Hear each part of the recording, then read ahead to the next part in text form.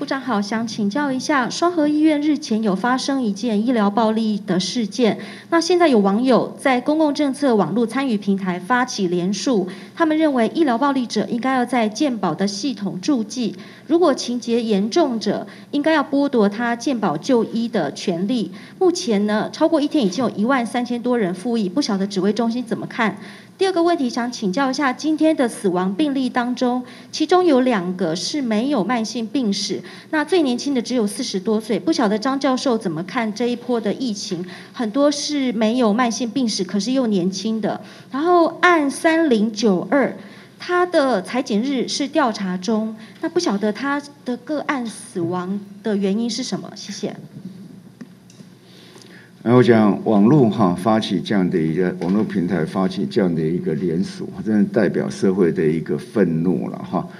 好，那但是这样怎样的一个方式才能够让这医疗的暴力能够减低？好，我想这等到这个连锁哈的情况比较清楚，我们再来做讨论了哈。那目前其实健保健保卡的注记它有一定的一个医疗的功能了哈。那是不是适合来做太多的哈其他的一些用途？那恐怕监察院也会有意见。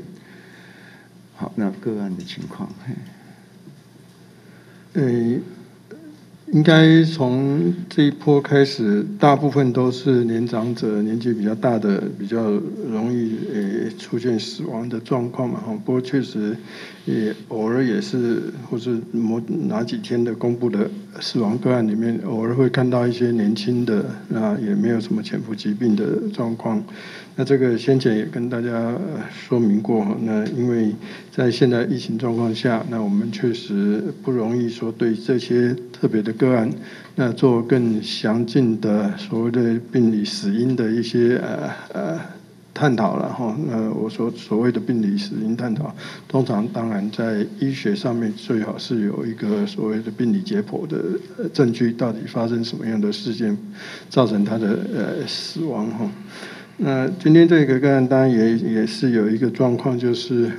他从有症状到进到医院，那前面因为是筛检是阴性，那所以呃到医院的时间当然是对我们来讲是稍微慢了一些。那这个没有及时就医，本身是不是也是一个呃？相关的因素哈，这当然在我们医疗上，我们也是会呃需要做这样的一个考虑然后那所以另外当然就是希望呃有症状哈，那就及时出来接受呃筛检、接受检查。那一次的阴性，也许并并不代表真正的阴性。那如果还是症症状持续的话，那也可以继续出来接接受检检验，继续接受筛检哦。那希望早一点呃确诊，那早一点做后面的适当的分流的安排。那需要到医院就早一点到医院。那呃或许还是可以减少我们这样的一个重症或死亡的一个个案的。